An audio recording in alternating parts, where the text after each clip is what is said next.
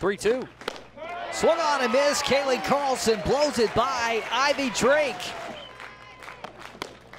And Kaylee Carlson gets her fourth strikeout against Georgia State. Left field, we, we saw it on defense a bit earlier. In the air to left, Podany ready to tag. Skalski makes the catch. Podany takes off. She's going to score.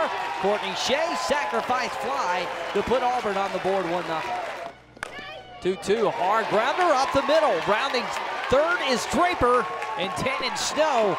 A good piece of two-out situational hitting.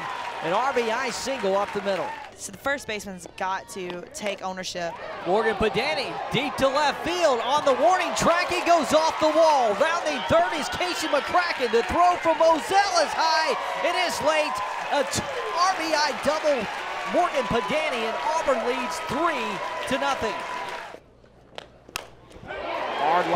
Right field. Rounding third's Podany. She's not stopping. She's going to score. And Courtney Shea takes second on the throw home. It's a wild throw. Here comes Draper. Make it 5-0 Auburn. Payoff. Harris blows it by Chadwick. Harris picks up her second catch. Liner in the middle, on the ground. Dowell steps on the bag at second, and the Auburn Tigers remain perfect through the first two weekends as Auburn defeats Georgia State 5 to nothing.